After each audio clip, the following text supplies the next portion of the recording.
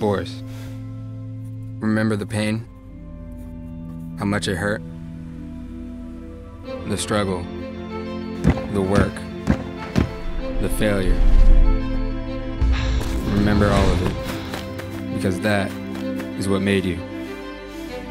Remember yourself, Boris Barian.